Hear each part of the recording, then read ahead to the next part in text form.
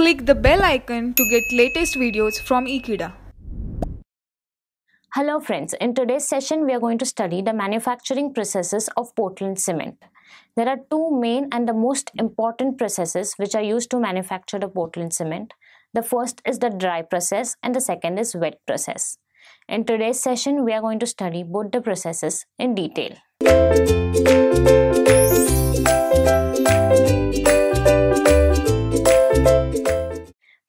Manufacturing processes of Portland cement. Usually there are two processes employed for the manufacturing of the Portland cement. The first is dry process and the second is wet process. Both of these processes are the important processes and out of both of these processes what output we'll get is our Portland cement. The selection of process of manufacture of cement depends on the nature of the raw materials. Now these raw materials are very important. Depending upon what kind of raw material it is, we can either choose a dry process or we can choose the wet process for making our Portland cement. If the raw material is hard, then dry processes are normally preferred. Whereas if the raw materials are soft, then the wet processes is preferred. We'll see the raw materials and we'll see the processes and the distinguishing between both the processes. Other than nature of raw material, the factors like consumption of fuel, availability of the raw materials, the climate of the factory place are also taken in consideration for the selection of the process. That means the first and the most important factor. That means the first and the most important factor which is used for selecting the process that is either dry process or wet process is the raw material. What kind of raw materials do I have? If I have hard and dry raw materials, we cannot use the wet process on it. But we have soft clay-like materials, then we can easily use wet processes on it. But apart from that, the other major important factors over here are the consumption of fuel. Which process will take more fuel? Do we have enough income for that fuel? Do we have to invest that much for that kind of fuel? Is one of the most important factor. The second is the raw materials. For example, right now we have a lot of materials which are hard. So that's the reason why we take the dry process. But in future, there may be chances in which we will not have hard materials and we will be getting soft materials. So if we have that situation, that means we have to select our process from right now looking into those aspects of it. The third is the climate of the factory place. If I am incorporating dry process but the entire factory is placed in an area which has a lot of humidity, which has a lot of rain, then the dry process will get affected by it. And that's the reason why the climate of the factory place is also taken into consideration for the selection of the process for manufacturing the cement. Normally both the processes are the basic rules. Now both the processes will have some basic steps to follow because both the processes are giving me one output and that output is the Portland cement. So let us see the steps which are involved in it. The first is selection of raw material. Both the processes will require raw materials. So the raw materials are to be selected with their finest qualities and in proper proportionate quantities. The second is crushing and grinding. Whichever raw materials we have selected already for its finest qualities. The second thing we'll do is crushing of it and grinding of it. That means we'll make the pulverized form or the powdered form of the raw materials. The third point is storage of slurry. We have first taken and selected our raw materials. The second thing is we have crushed, mixed them and pulverized them into powdered format. The third thing we'll do is store them and all these three steps come into the mixing of raw material. That means 1, 2 and 3 are the sub-step of the important step that is mixing of raw materials.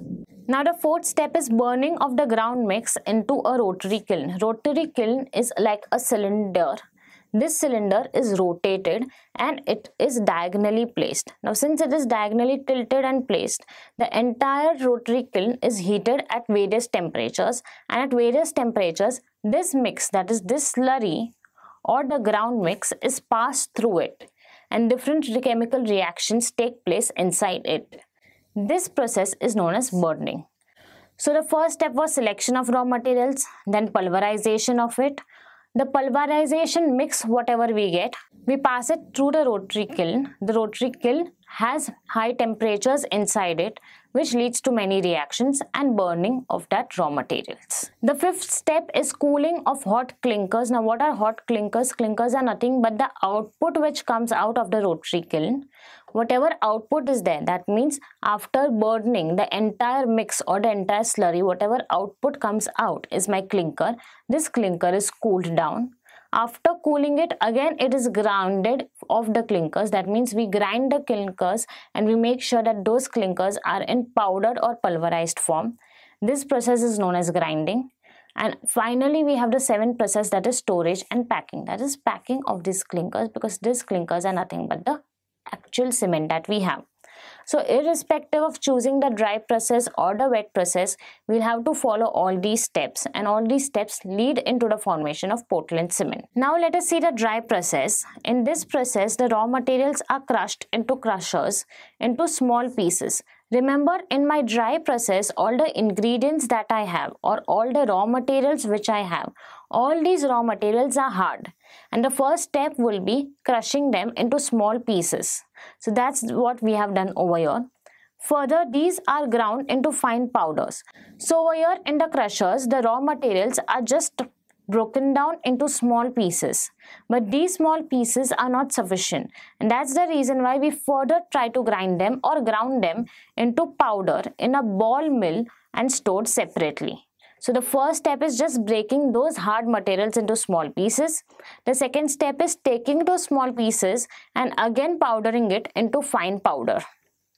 Then mixed in proper proportions. Now this is a very important step. Why is it an important step? Because at this point of time, we are actually going to mix all my raw materials.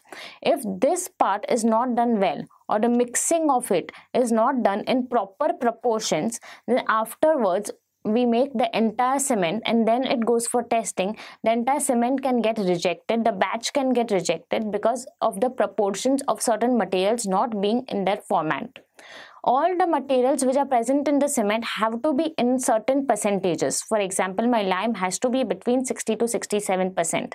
The minimum percentage of lime is 50. So if at all at this step that is mixing the all the ingredients in proper proportion, if my lime is not 50%, if it's 30 to 40 or 45 percentage, then the entire batch of cement will get rejected because of which the cement would not have the properties of it as well and thus we should make sure that proper proportions are mixed of different raw materials. After mixing these, we pulverize them. What do we mean by pulverization? Pulverization is nothing but making a powdered format of it. We get a powdered format of all the mixed materials over here. Now this pulverization takes place in tube mills and homogenized mixture. Now what do we mean by homogenized in a mixture? Homogenized, the word homogeneous means one phase or one form. That means when we mix all the materials together and when we make a powdered format of it, after that whatever we get as the output that means the powder of that output should be in one phase whenever we look at a cement that cement is nothing but gray fine powder we cannot make out that certain particles are of sand or certain particles are of silica or certain particles are of lime in that. All the particles appear to be one. That is because of the homogeneity or one phase format of it. And thus, this process takes place at this step after the tube mills. All the particles are homogenized into a mixture. That is mixing mill with the help of a compressed air what do we do after that is we take the powder and we put that entire powder into a mixing mill. And over there we have compressed air. That means we do not have large amount of air.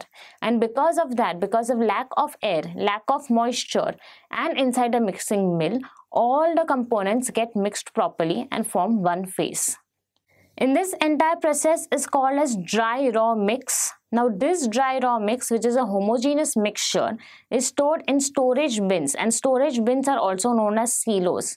The storage bins, the large storage bins which are used for the storing of cement are always known as silos and are kept ready to be fed into a rotary kiln. Now this rotary kiln will finally mix all the other components which are needed and finally make the cement of it. The second process is my wet process. Over here, all the raw materials which we have are not hard. They are more of argillaceous materials rather than the calcareous materials. What are argillaceous materials? Argillaceous materials are soft materials like clay, shale, shells and all of that. So over here my materials are already soft. For my dry process, all the materials were extremely hard and that is the reason why we had many steps in it. First to break down those materials into small pieces. After breaking down those materials into small pieces, we had to further break those materials down into a fine powder. But in my wet processes, all the raw materials are soft and that is the reason why we will not have a lot of effort in breaking down those particles. In this process, the materials are finely ground and blended in the required proportion. If you see over here, it is finely ground. That is, there is just one step of grounding the materials. The second step is just blending them. Again, this is a very important step because we have to blend them into perfect proportions or else the cement will not be proper. So over here, we finely ground the materials and blend them in the required proportion and store them in the big storage tanks known as silos. So over here, if you see there's no such concept of different types of mills that is tube mills or mixing mills or even other types of mills which are used in blending or in breaking down the pieces because all these materials are very soft. And since these materials are very soft it is very easy to break them. It is very easy to mix them also and form one homogeneous mixture that is cement Argillaceous material in thoroughly mixed with water for washing to remove the organic matter. It is very important for us to understand that all these soft matter, all these soft particles, for example, I have clay, shale, all of these are organic. We get them from nature and that is the reason why we may have many organic materials also present in it and all these organic materials are not needed in the cement. They will help in deteriorating the quality of the cement which is not desirable and that is the reason why we need to wash them off. So over here we are washing and removing all the organic materials which are present in the cement if any of it remains and then it is stored. Powdered limestone and washed clay are allowed to flow in proportioning tanks. Now what do we have over here is just argillaceous matter. Argillaceous matter is not enough for making Portland cement. It needs some kind of hard substance to it to make the cement good in quality. And what is hard substance better than my limestone? And that's the reason why we powder our limestones. And once we powder our limestones and we wash it with wet clay, and then both of them are allowed. In again over here I have proportioning tanks. It is very important to use the proportion of it. Proportion of it. Why do we have the need to use proportioning tanks? And what exactly are proportioning tanks? Proportioning tanks are huge tanks.